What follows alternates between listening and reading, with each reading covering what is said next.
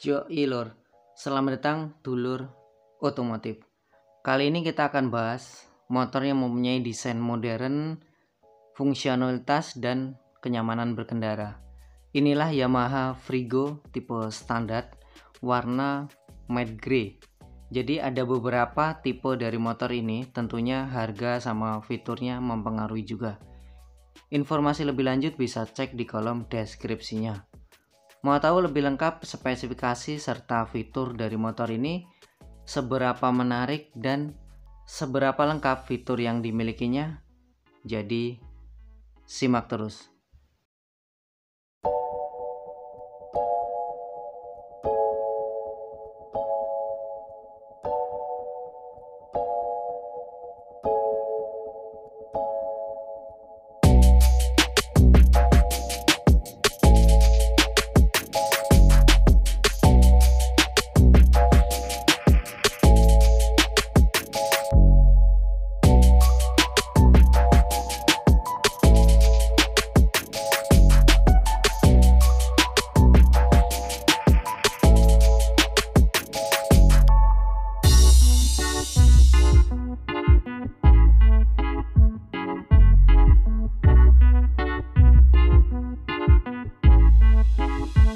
Kita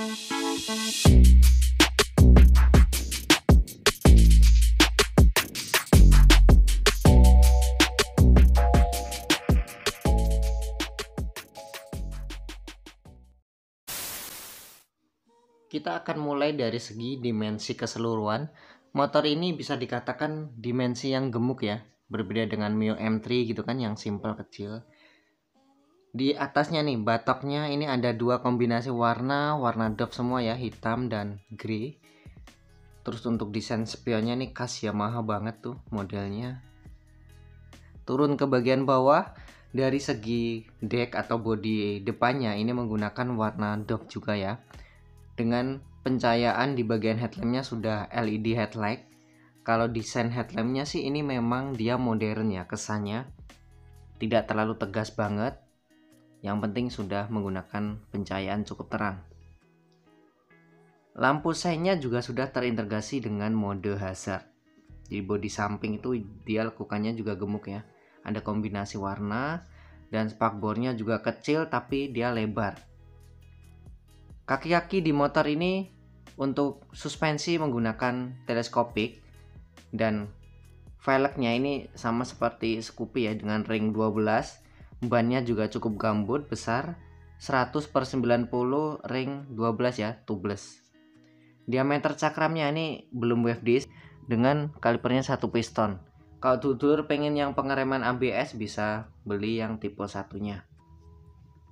Dari segi beratnya jadi bobotnya si Frigo ini 100 kg pas. Jadi 100 persis. Kita lanjut soal bagian mesinnya menggunakan kapasitas mesin 125 cc aircode 4 stroke SOHC dan ini single cylinder tentunya full injection dengan rasio kompresi 9,5 banding 1 jadi bore stroke-nya nih diameternya 52,4 langkahnya 57,9 mm. Sudah ada SMG di motor ini, suara lebih halus ketika dinyalakan dan mempunyai power maksimumnya 7 kW di 8000 rpm serta torsi maksimumnya tembus 9,5 Nm di putaran mesin 5500 rpm. Masih ada kickstarter Frigo ini ya. Pijakan kaki yang belakang modelnya bisa dilipat dan untuk yang depan sudah ada fitur set stand switch-nya. Jarak terendah ke tanah motor ini 135 mm seperti NMAX ya. Di bagian bawah juga modelnya kayak gini nih. Cakep sih. Pijakan kaki bisa dibilang ini luas. Jadi bisa bawa galon nih kanan kiri. Lanjut ke atasnya untuk bagian speedometer tampilannya terkesan modern ya namun MID-nya di situ kecil. Sudah full digital dengan beragam informasi berkendara seperti kecepatan, bahan bakar, jarak tempuh kayak gitu ya.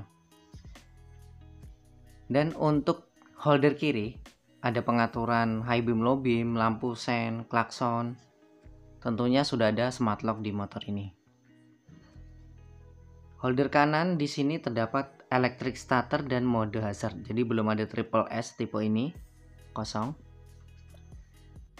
Karena ini tipe standar jadi masih menggunakan anak kunci dengan pengamanan shutter key ya.